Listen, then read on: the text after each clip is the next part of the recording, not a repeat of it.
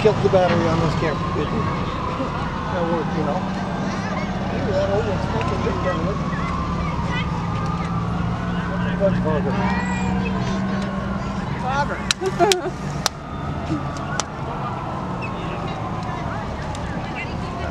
One battery left on this one.